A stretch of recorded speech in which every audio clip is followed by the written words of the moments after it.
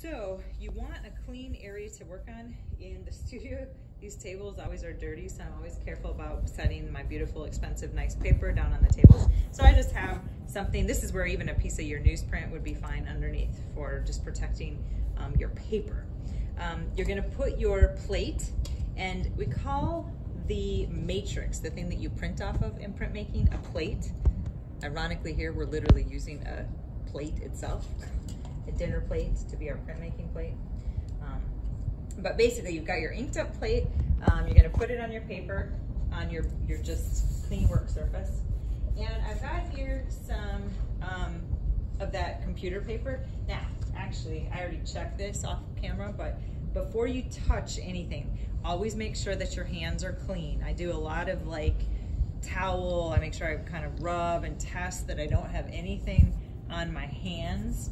I don't want fingerprints on my paper because nothing's worse than a beautiful print that you get fingerprints on. Okay, so I know my hands are clean. I've got my printmaking paper. Now, we've talked in another video about registration. You don't need to worry about registration for this. We're just kind of learning how this process works. So I'm just gonna kind of eyeball, I want it essentially in the center of my paper, um, but I'm gonna just sort of eyeball where the center is. And I'm gonna gently lay it down and you don't wanna wiggle or move, okay? Gently lay it down. I usually hold it and sort of gently press. And the ink will actually make the paper kind of stick. Then it's a matter of pressure.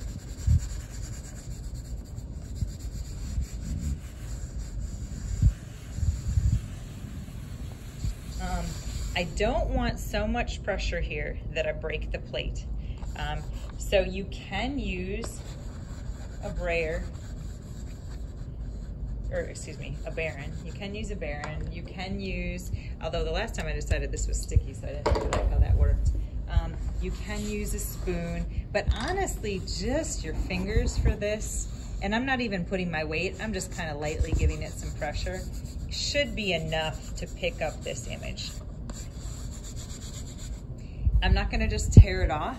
I'm going to peek and make sure I got nice contact.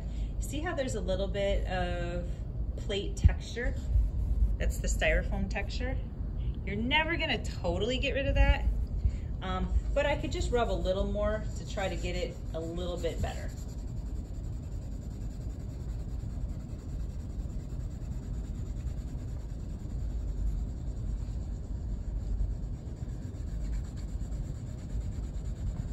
Just making sure I kind of covered everything even pressure. All right, I'll peek again.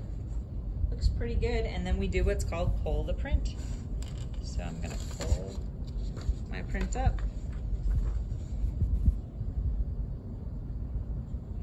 If you get areas that have, see how there's kind of a line here, that's almost too much ink.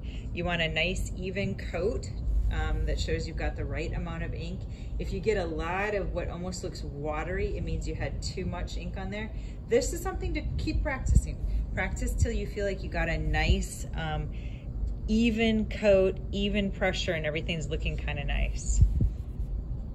The point of this is just kind of to have fun, to see what kind of mark you can make, um, what kind of texturing you can get. You can actually, do this a second. You can see over here was where I used my fingernail to kind of rub and I used that, um, the cap of the Sharpie to rub.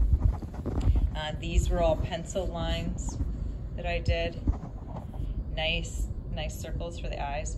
Um, the the just kind of pressing in with that funky tool that Miss V had is in the mouth areas. So actually pretty similar to what I did with my fingernail. Um, if I were gonna critique this image, I probably need more contrast. I probably need more areas of white to make the darks stand out. Um, but in general, I'm off to a good start of understanding line usage, um, understanding ink um, amounts and pressures, which is really the point of what I want you to do here.